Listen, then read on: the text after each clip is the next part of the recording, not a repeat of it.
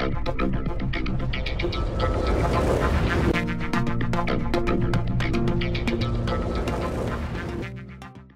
Beckye Stanton. I'm a staff toxicologist with OSPR.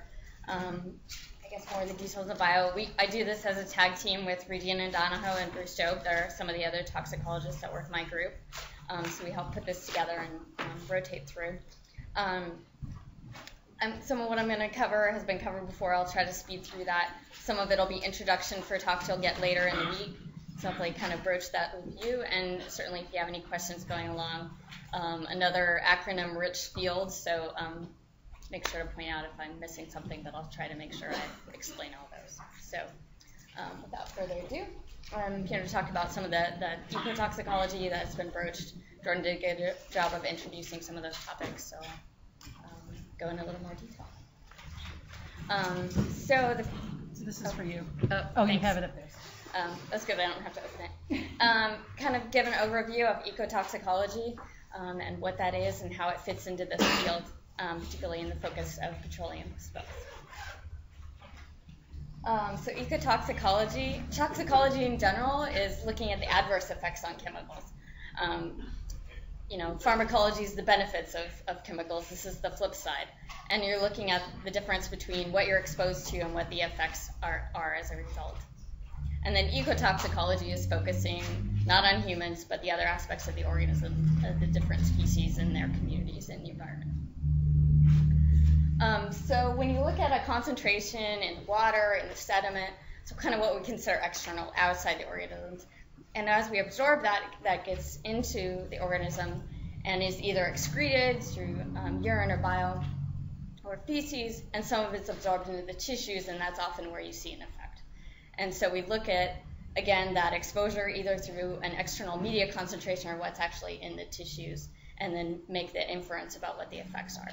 And so when we look at exposure, again, as Jordan mentioned, we can talk about an acute, an hour or day exposure to a chemical or more chronic days, months, years, and how that influences what the effects are and, and what the accumulation is in the organism.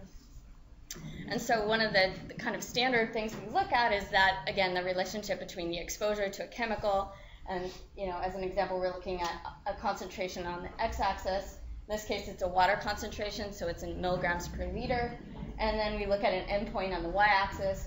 In this case, it's mortality of a population that's being exposed. And sort of a typical um, measurement of that is, is the LC50, the lethal concentration to 50% of the population. And so basically, you're looking on a, on a curve that tends to increase. Um, and what you hope to see in your data is a dose response curve. And so we looked at basically where's 50%, draw it across the curve, and then what's that concentration.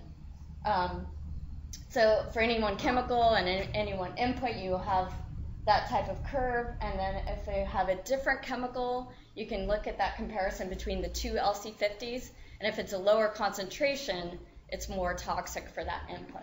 So basically, if you're shifting the, the concentration at which you see 50% mortality, it's, it's showing the difference between chemicals. And so we can look at that, like for example, for, for different components of, of a crude oil. Um, as an example for this with fish, is looking at a reproductive endpoint um, where it's the number of eggs per female, again, your input on the y-axis, and then the concentrations of water on the x-axis. And um, you could see where you see a shift from basically like a control population where you don't have an effect to where you start seeing a change in the distribution. And so LOEC is lowest observed adverse effect concentration, and then the next dose below that is your no observed adverse effect. So that's going to be dependent on what dosage you're using in your study. So, um, and then we use those as benchmarks to compare what we have concentrations we measure in the field. So it's again an example of how we would use this exposure effects relationship to help understand what might be happening in the field with a given species and a given concentration of a chemical.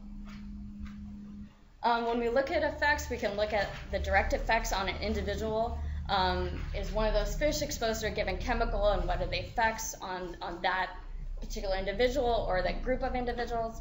But we can also look at the indirect effects because we're looking at an ecosystem as a whole. We know there's interrelationships between different species. Um, example on, on the right is from the Exxon Valdez spill, where they saw a decrease in the fucus, the, the rockweed on the rocks, and then they saw a decrease in the grazers that feed on that. And because the grazers went down, they actually saw an increase in algae. Um, so green algae, a different algae. Um, so you can see that change of it was only affecting directly one aspect of the ecosystem, but you see changes overall as a result. Another aspect is, um, you know, if you have affect a, a, primary producer and you have less diet, food in your diet, so therefore you can see a decrease in growth, for example. Um, so there are lots of different ways to look at petroleum toxicity. Again, as a couple of people have mentioned, it's really a complex mixture, and so we need to look at it in different ways depending on what we have available. So petroleum product mixture, what's your crude oil as a whole, what's your diesel mixture, and just basically measuring it as the total petroleum hydrocarbon or TPH measure. So pretty general, but there's certain benchmarks that are based on that and just gives you an overall cut of what you have in the system. Um, indicator compounds, um, BTEX, again, the benzene, toluene, ethyl benzene, and xylene. Your volatile organic compounds that you often look at as a mixture, um, or benzo[a]pyrene, um, BAP, is another indicator compound that we have done a fair amount of toxicology on, so we have some benchmarks, and those kind of give you a sense of what might be happening with the mixture as a whole.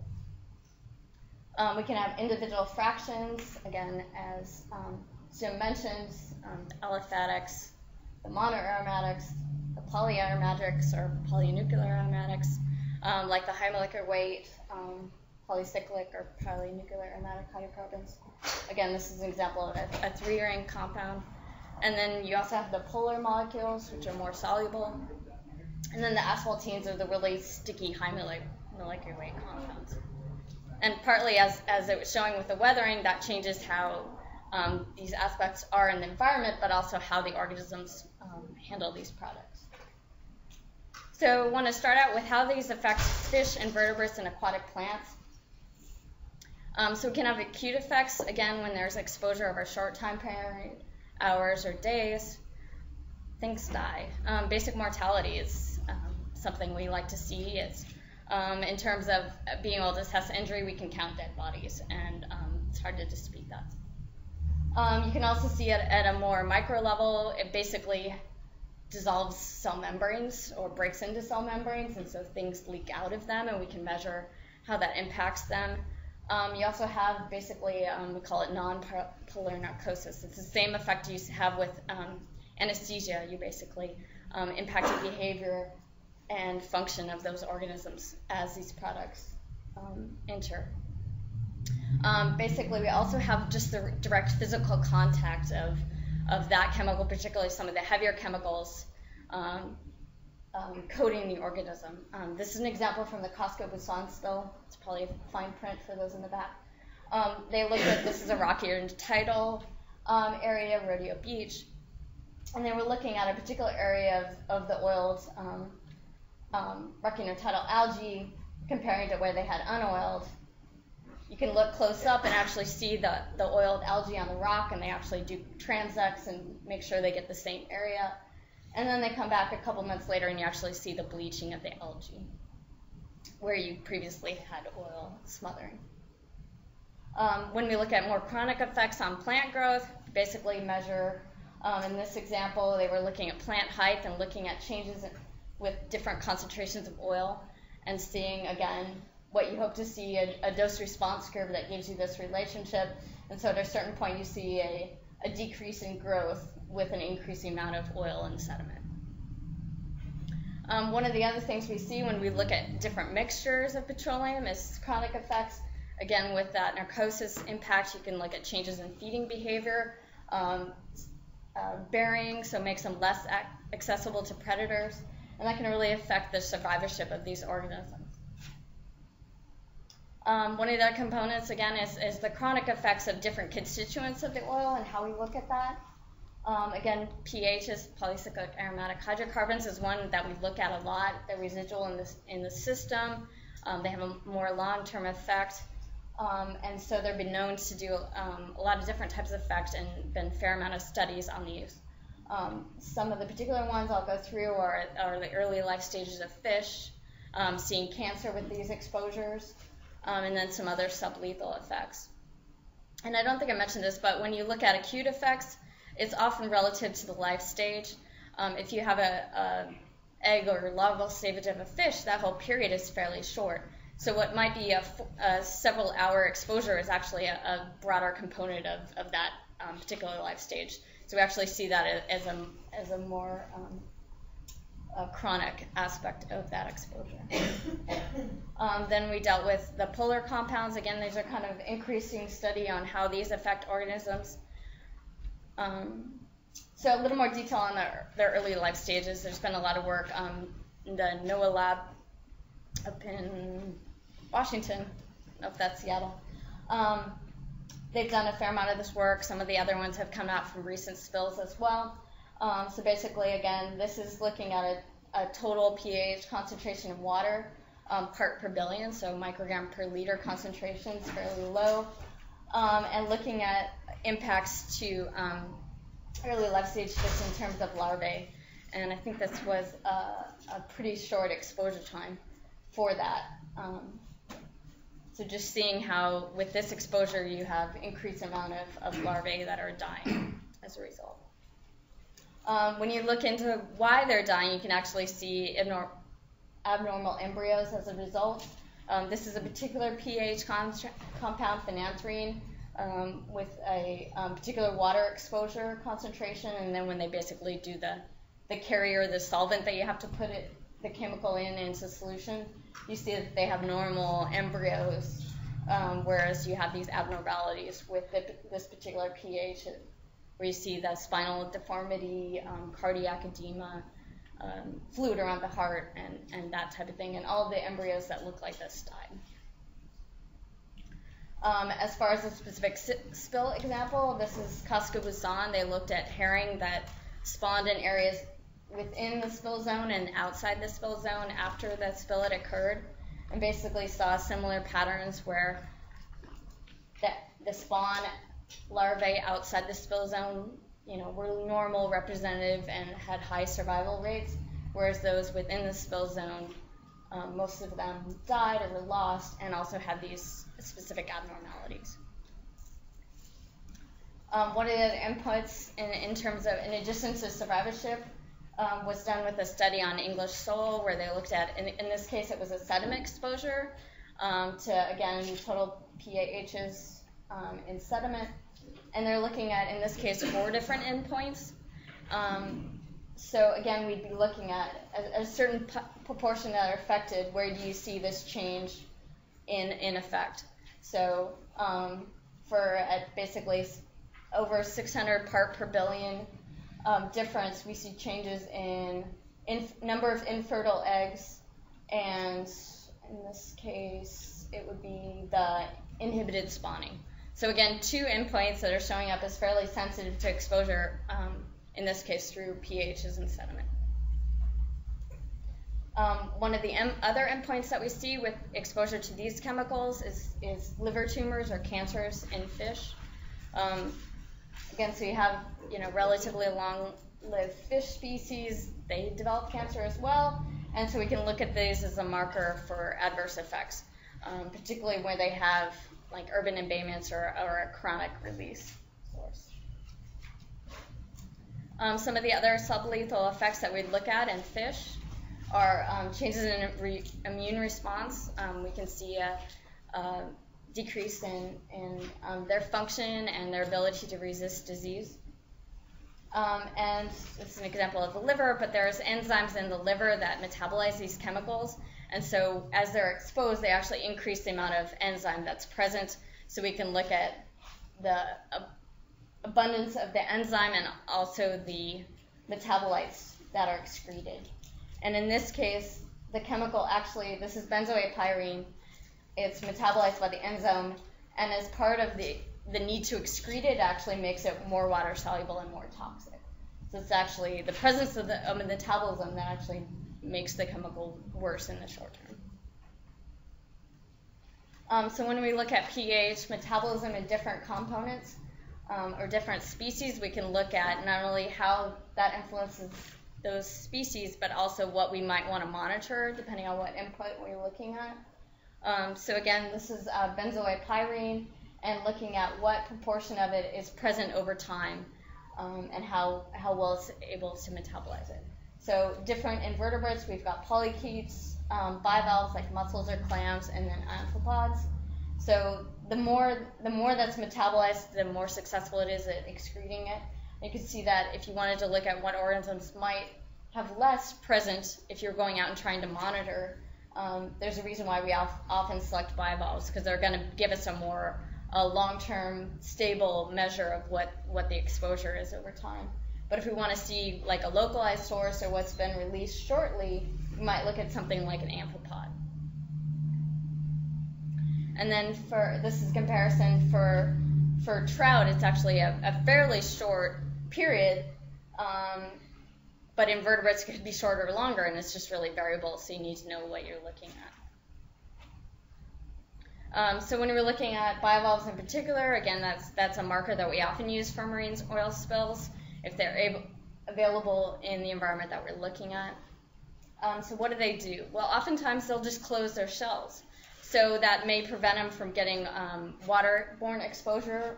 They may still have coating, but they can only stay closed so long without having impacts to those bivalves. They're used to being able to feed and um, excrete during that open period when the tide is high. So it's only a short-term help, but it has impacts to them as well. They can accumulate in their tissues. Again, they metabolize them fairly slowly, so we can actually look at them, collect them, have Jim analyze them for PAHs, and look at those concentrations. Um, they've shown with increasing concentration that there's actually reduced growth in those organisms. We may not be going out in there and measuring it, but we can take the, the samples, get them analyzed, and then compare them to those benchmarks and say, do we expect that they have reduced growth given that exposure? Um, one of the other markers that we've been looking at is lysosomes are part of the cells that are involved, and when again when these compounds get into the membranes, they don't stay intact. They actually leak out part of the cells, um, which is bad for them. And so this is one of these things um, markers that we actually looked at with the Dubai Star Spill in San Francisco Bay. Um, this was actually with UC Davis. And so they looked at basically, this is again total um, PAH concentration, this in this case in muscle tissue. Um, and then we looked at actually um, doing a bioassay where they looked at the number of intact lysosomes. And so basically, at, at sites where we had a low, lower PAH concentration, we had a greater um, or a lower number of destabilized and a higher number of intact lysosomes where when we got to a more contaminated site, we actually saw a change where there were um, more abundant um, or increased number of destabilized lysosomes. So a biomarker of what we can look at that has some link to adverse effects. Um, and then in terms of mortality, one of the things we can look at is is um, the number of abundance of gaping shells. So there's still tissue present. It's a recent impact, um, but they're no longer viable, and the shells are in general pop open.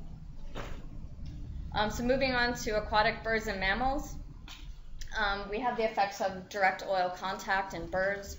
Um, staff from uh, Oiled Wildlife Care Network are going to talk, I think, more extensively about this later this week, but I just want to broach the subject. Um, we can have direct oiling of, of fur uh, for mammals and feathers for birds, and that affects their ability to thermoregulate um, and changes their behavior. Um, so we not only have that on the individuals that are oiled, but oftentimes if the birds are nesting, the oil actually comes off in contact with the eggs, and so then the eggs are exposed through that external oiling. And that has been shown um, both in field and laboratory studies to impact the embryos. Um, not only through inhibiting gas exchange, but what does um, pass through the egg membranes actually has um, some toxicological effects as well. Um, there's the effects of the oil ingestion. So not only the physical coating, but then the birds preen or ingest the oil, and so that oil that is absorbed into their organism also has effects. And the way we looked at this um, is actually a way to, to calculate how they're exposed on a daily basis. Um, it's basically just saying how much how much of a prey do you eat? What's the concentration in that organism? Um, there's often incidental sediment ingestion um, as they're eating, or if they're like a waterfowl that tries to eat grit. Um, what's the ingestion rate of sediment? What's the concentration in sediment?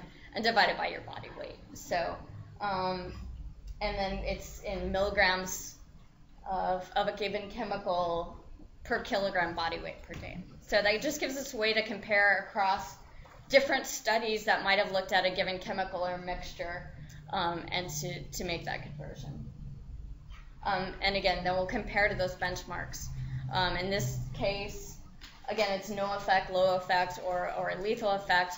Um, but because it's actually in, a, in, a, in an ingested dose, it's a level, not a media concentration like a water concentration or a sediment concentration.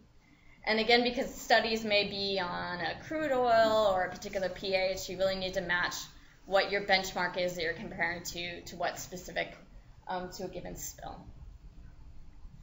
And this calculation again doesn't doesn't account for what might be taken up when they're drinking the water, um, if they're inhaling uh, volatile organics from what's coming off the oil on the feathers, or what's directly contacted that needs to be accounted for separately.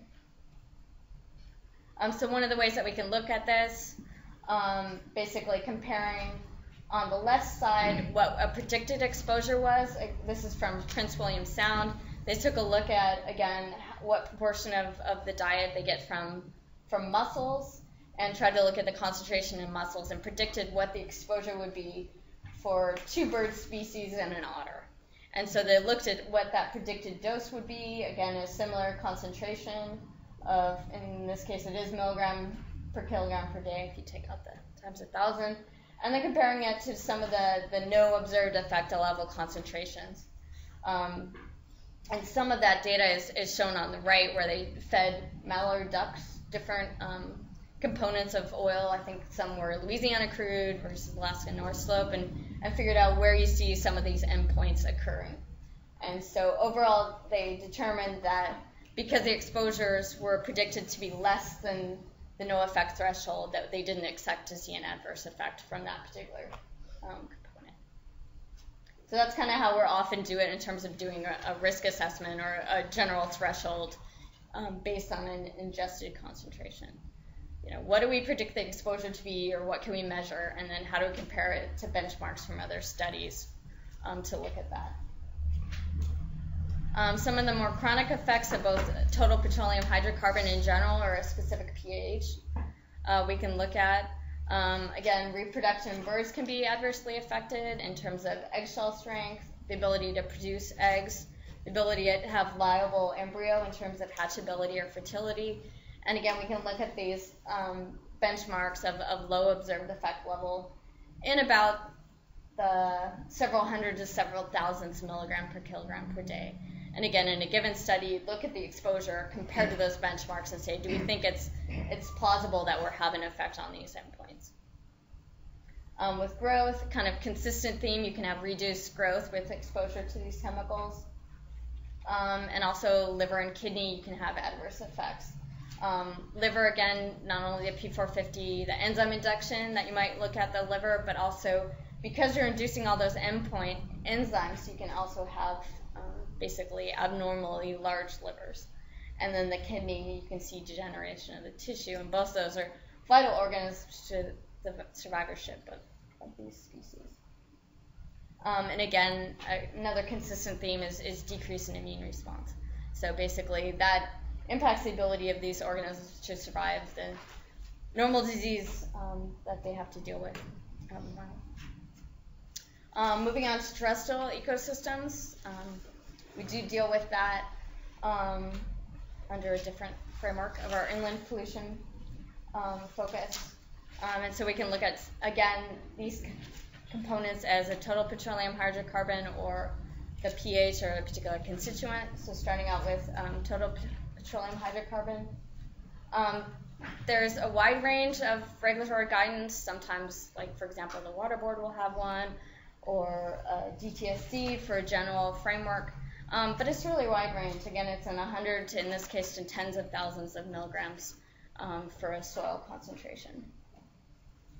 Um, in general, lighter mixtures like a gasoline or diesel, um, more toxic to heavier crude.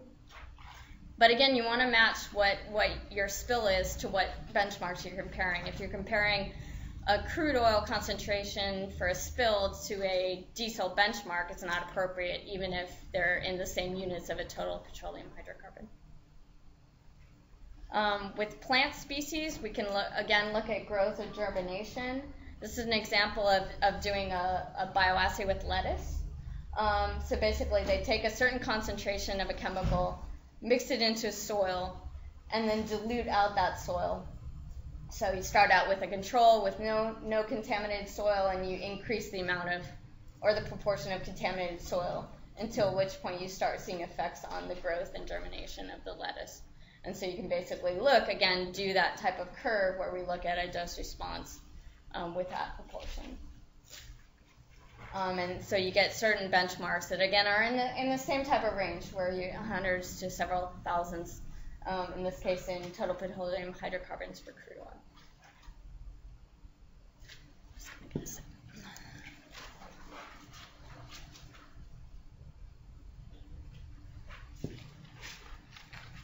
So with soil invertebrates, um, again, survival and reproduction, pretty consistent themes with what type of endpoints we would be looking at. Um, and uh, pretty similar ranges, a little more sensitive in terms of, of what where we'd see impacts to soil invertebrates with exposure to crude oil.